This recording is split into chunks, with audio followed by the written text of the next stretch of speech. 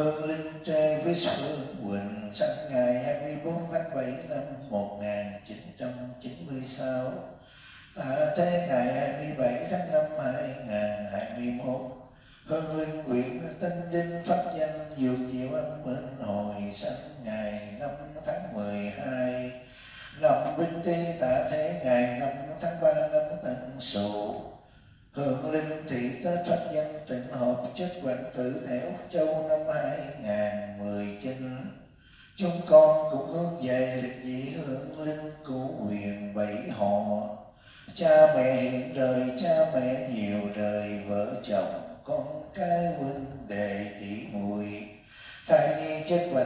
được thờ tự trong tháp địa tạng từ ngày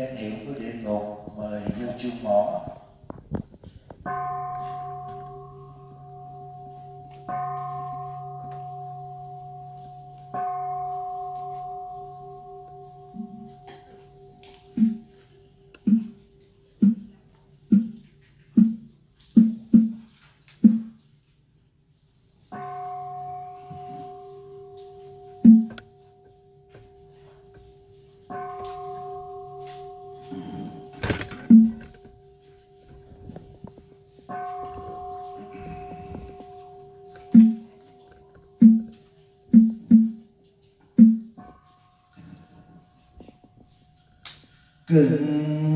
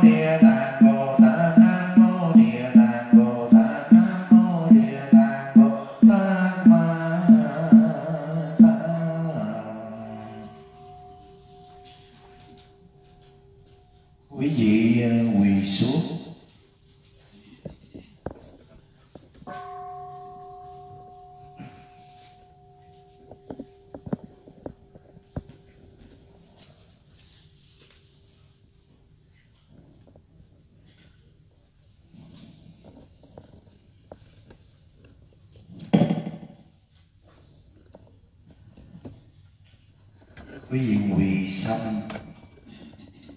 Quý vị nghe theo lời Phật dạy cho con đại thế. Khi mà một cái người mà nhận của tín thí cúng dường, tức là người ta sớt bát, thì thường thường các cái vị tăng nó hỏi là, hôm nay thí chủ cúng dường với tâm nguyện gì? Thì lúc đó cái người thí chủ đó mới nói là, tôi cầu nguyện cho cha hoặc cho mẹ mới chết. Rồi lúc đó đó, người tăng đó mới biểu cái người thí chủ đó hãy nhắm mắt, định thần quán kỹ tới cái khuôn mặt của người mà mình muốn hồi hướng.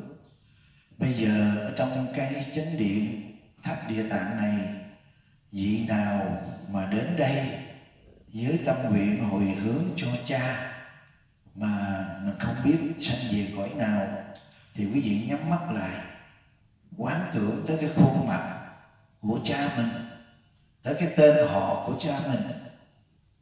Quý vị quán đi, quán tới cha. Định thần quán đủ hình ảnh của gương mặt người cha thân yêu, tên tuổi của người cha và quán kỹ sau đó rồi những người nào đến đây mà nghĩ về mẹ mẹ của mình mới mất trong này có mấy người, hoặc là những người có mẹ đã mất đã lâu. Không biết là đọa lạc về nơi nào, không biết nương vào phước lực của ai nhờ thần lực này địa tạng quý vị nhắm mắt, quán kỹ khuôn mặt của mẹ. Nghĩ tới công ơn mang nặng đẻ ra của mẹ, nhớ tới cái tên thân yêu của mẹ nhớ tới cái pháp danh của mẹ. Quán kỹ. Rồi có người đến đây vì cầu nguyện cho chồng. Thì hãy nhắm mắt lại.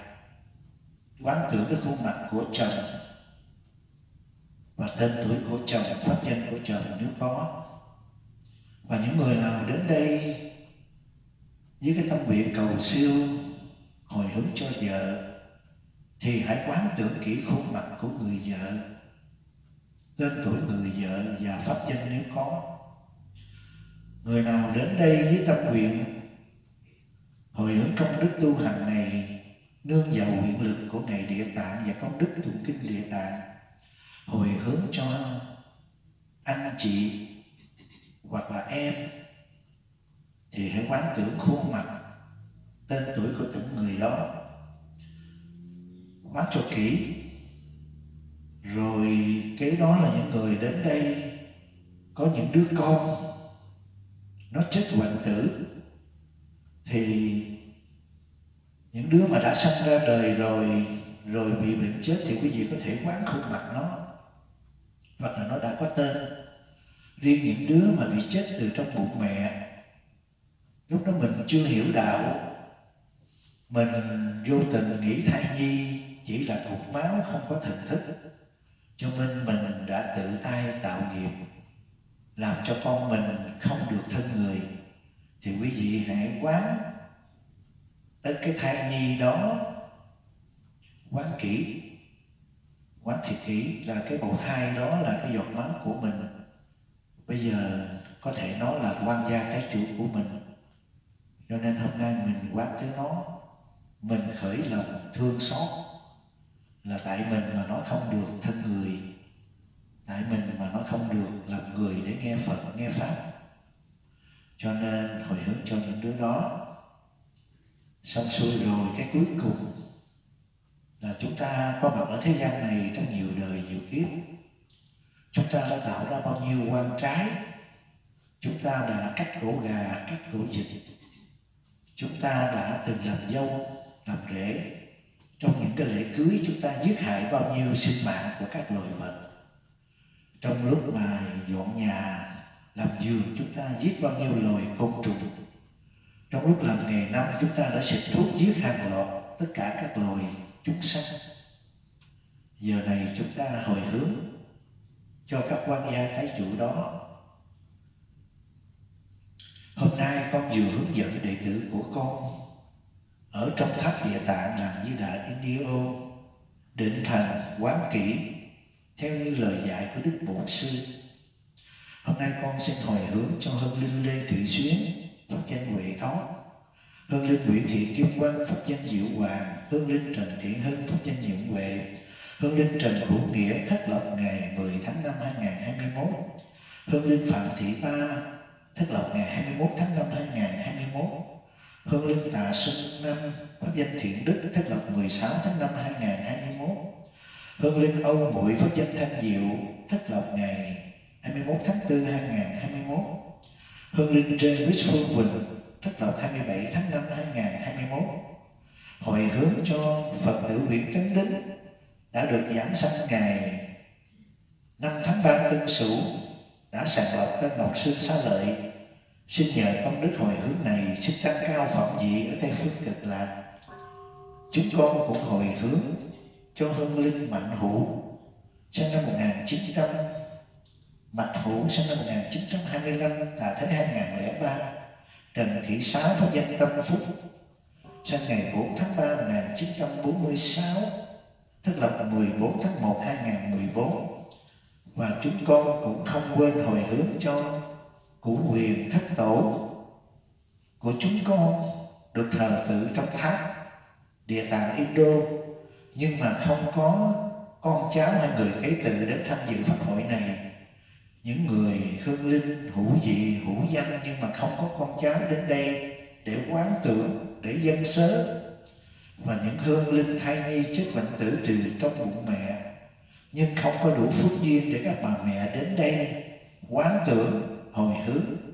Con xin hồi hướng các hương linh này, cùng với các hương linh vô dị, vô danh, tức là những vị hương linh liệt dị cô hồn chiều chiều lúc bốn giờ, nghe tiếng chuông chùa u minh hội tụ về đây dự đàn thiết thực. Nguyện nhờ phật lực câu kinh trong địa tạng kinh đều được siêu sanh tịnh độ. Nam mô a di đà phật